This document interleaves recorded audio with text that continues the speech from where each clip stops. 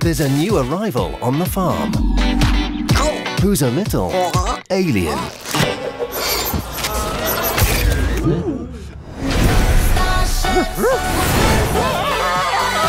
She's a little curious.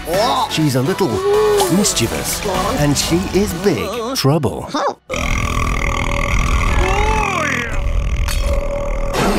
Farmageddon, a Shaun the Sheep movie in cinemas October 18th.